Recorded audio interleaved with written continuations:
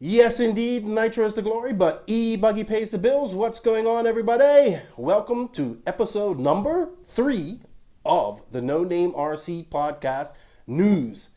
And it's been a lackluster week in RC, well, in the world, because we all know what's going on in the world. We don't have to repeat it. COVID 19 is just affecting everything. It's definitely affected RC. Lots of tracks have closed their doors hobby shops have closed their doors. Pretty much the whole world is kind of shutting down in this time. But there's still RC things going on, which is really cool to see the RC community come together and and do things. But I'm going to talk more about that in this. But before I uh, um, go on any further, I just want to say shout out to all of the No Name RC podcast listeners from around the world. You got your support is what makes this happen. Thank you to our patrons and thank you to our sponsors. Without you guys, none of this can happen. And I hope you guys enjoy the content that we are we're, we're bringing to you guys. We have some cool things planned for this week. We have a nice guest this week on the No Name RC podcast. Shameless plug. I also, if you want to check out something, if you want to hear from one of our fellow RC friends and family that are in Italy right now and what Italy is going through, please check out episode number 67 with Mao from Mao Graphics. He has a message for everybody. I please listen to it with an open mind. There's no agenda. There's no bias. It's just talking to a fellow RC friend, family who's going through a lot of trouble. What's going on in, over in Italy? So please have a listen to it. It's only 25 minutes long, and I hope you guys enjoyed. Uh, if you want to know more about Seth freaking Van Dalen, you can check out episode 66. So let's get on with the news. So first up in the news, I think the big news this this week was that Alex Pilson has sold Reds Racing uh, Reds Racing USA. I believe uh, I got contacted by Alex Morelli. He has bought Reds Racing USA. He will now import and distribute Reds uh, products, Reds Racing products. So all of the engines, electronics, everything you need for your Reds engines, pipes, you name it. Alex will be distributing it. Kenny Johnson will continue to be the U.S. team manager. But I predict with Alex behind, he's very eager. Alex is into RC.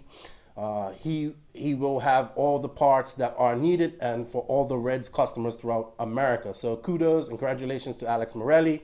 He's also opening up a new hobby shop slash mobile hobby shop that he would, that he usually does for tracks. I believe it's called Golden Star. I'm not sure. I have to check, but maybe we'll get Alex on the podcast to talk about it. Next up is the LiveRC fundraiser. Now, if you haven't checked this out, it's actually really, really cool. It's really good to see the RC community come together for this. So far, in 24 hours, just over 24 hours, they've raised $54,011. So, how this works is basically LiveRC went on a collaboration with some some RC in uh, some RC companies within the industry. Let's name them off: Infinity, Proline, AMain Hobbies, Tekno RC, TLR, ProTek RC, LiveRC, Associated, aka Reedy, Beach RC, JConcepts, Mugen Seiki, MyLaps, Kyosho, Absolute Hobbies, and Lifetime came together with a collaboration where you buy a shirt, a t shirt, and it has the t shirt actually says, This shirt supports my track. So how this works is you you have a, a I think it starts at 25 bucks, but you have up to 100 bucks, I'm not sure. You go on and you buy this shirt. So how this works is you buy a shirt, choose any price, 25 or higher, whatever you feel you can con- contribute. Select your favorite track track from the drop down. You choose to make your purchase public or private. We send you a shirt you proudly wear. All partners shown on this page will add a dollar to five dollars donation per shirt. We send so then the the LiveRC sends the, the shirt out to um, sends a shirt out to you, and then the check will get the which track you ever which whichever track you choose will get 100% of the profits from that sale of that shirt. So this is how the math works. We they apparently they got an amazingly low cost on each shirt. Current industry matching is at $28 per shirt. A $35 shirt, shirt order will result in approximately $58 going to your local track. So if you spend $35, your local track gets $58. And they ask, they say as more industry matching partners join in in this project project, the matching donation will be applied to all previous orders. So if they get more people on board, more companies come on board, the everybody will still receive the amount of dollars. So like if 10 more I guess what it's saying if 10 more sponsors companies come on that each track was each track no matter how many people have spent money will get that amount of money. I mean each track will get that amount of money. So that's pretty cool. Their goal is to sell 1000 shirts with the industry matching 30 30 or more dollars per shirt. That means that each shirt ordered will generate at least $50 going to the track to help them reach their goal of 50,000 to help keep tracks in business. Now, they've already surpassed our goal, but this doesn't mean it stops. We keep on going, we keep supporting, and this helps out our tracks around the world. So go to the website. I actually have to buy one of the No Name RC for the No Name RC podcast. I will later on this week. Um, so it's a really cool incentive.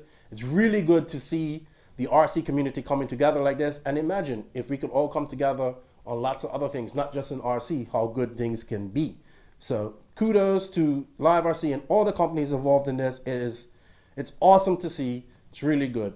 Now, Australian nationals. Now there was a race in Australia, the Australian Nats. Apparently in Australia, the law was they cannot have groups over 500. So it was way less than 500. It was maybe 80 people at this race. So the Australian Nats is a little bit different. I don't understand how it really works, but this first race was held in Melbourne. And if you know anything about Australia, it's really big. So I, I have we have some drivers in Australia: Aaron Dexter, uh, Braden Johnson, a whole bunch of JQ racers that I communicate with through Replay Hobbies. Shout out to Replay Hobbies. Uh, so I kind of have been learning about Australia, and you know I'm obsessed with the thylacine. Australia is really big. So these guys fly, flew. They live on the west of Australia. So the Dexters and Johnson, they made the trip to Melbourne to race this past weekend. Now, Kyle McBride was going for a 10 times Australian champion, but nipping at his heels was the young Alex Bernard, Bernardzek. Bernardzek. Bernardzek. I think I got it right. I know one of the Australian guys is going to correct me, but this young racer, Alex, has really come on lately. He's really fast. He's, he's nipping at the heels of Kyle McBride, and he didn't disappoint. He actually TQ'd this he started second after the semis, and he gave McBride a run for his money in the 60 minute final. But McBride's experience would overcome, and he ended up winning, making him 10 time Australian champion. Alex came in second, driving AE, and of course, the Thylacine driving a JQ in third. And the Thylacine did really well all weekend. He, he qualified third, started third, and kudos to Aaron Dexter for making the uh, for ma- making the podium. And actually, the whole family, his dad and his brother, were in the final. So it's pretty cool. The whole Dexter family is a really great family. I got to meet them at RCGP. So yeah, we had some racing. That's about all the big racing that we had this week. I think that's it. There's not going to be any racing anytime soon, as it looks like everything is shutting down. So congratulations to Kyle McBride, 10-time champ, Alex, and of course Aaron Dexter. Team JQ, and I'm you know I'm gonna be a little bit biased towards that because I'm JQ all the way. A lot of thing, another thing that I've seen happen is the emergence of more VRC and RC. Now that we can't race, people are really getting into VRC. The only problem is nobody can get the dongles at the moment. Not until next month, I believe. So there's been some groups formed. Toby Hansen, the Toby Meister. Check out his blog. He's also been on the podcast. He started a group called the VRC Pro 46RC Racers Facebook page. You can go to there. Gary Crowell Jr. has started an RCGP Facebook page and he's uh, RCGP group on VRC. Scott Walker has also started a group. So the community and VRC is coming together and racing because this is the closest thing we have to RC. So it's pretty cool. I I myself have to find some time to get on, get some practice People may not say RC it doesn't work, but I tell you what, man, I honestly think VRC helps you out, and it's a good way to keep your RC skills in check. Race with your friends, banter. You just aren't physically at the track, so check it out. If you don't, if you have VRC, let's uh, join up, join some of these groups, and let's get some racing going. I predict this is going to get really popular over the next few weeks. It's already already gaining a lot of popularity. So kudos to everybody that is participating. I know it isn't real RC, but hey man, what can we do? We have to do something. So, product news for this week. Two companies are releasing new buggies. Let's start out with Associated. So the Associated has releasing or is releasing the RC8 B3.2 kit. This is the new 8 scale platform for Associated. So let's listen to what Associated has to say. The engineers of Area 51 Design Works focused on key components that improve durability, accelerated maintenance, and expanded upon its race winning heritage within the RCB, RC8B3 platform. An all new suspension arm design features bottom loaded inserts to adjust flex characteristics. The rear suspension arm has been increased while reducing the arm mount width to improve performance in all conditions. A four piece center bulkhead allows for easier access to the center diff, making adjustments even faster. All new radio tray design features an enclosed battery box, a larger receiver box, integrated switch and transponder mounting, and adjustable flex configurations. Updated shock caps. Now, this is what I like. Up, updated shock caps that allow you to run the RCB 3.2 with the included new stiff bladders, standard bladders, or as a million emotion shocks with no bladders, all with the same cap. The RC8B3 platform was born with Team Associated, championed by Design Heritage, and the RC8B3.2 plans to continue dominating the 8 scale off road racing scene. If you want to know more about this, you can go to associatedelectrics.com and check it out. I will post links to this in the uh, description for this RC News episode. So it looks like AE's come out. They've uh, added some, I guess, carbon fiber stiffeners. They've gone. Looks like they're going to a wider, a narrower, wider, longer arms, rear arms, narrow pivot, narrow pivot, which seems to be the in thing right now. I remember Joseph talking about it and explaining it, explaining all about this in one of his Facebook lives. I don't have the, that Facebook live number on hand, but you can go check it out. And they have a list of other other options and other things that they've done, but you can go check that out on their website. I will post the links in this description. Next up is the new SWORKz 8 scale buggy called the S35-4. It's based on the old platform, the S35-3. It features a new suspension geometry providing optimized corner speed combined with an easy handling and maximum traction.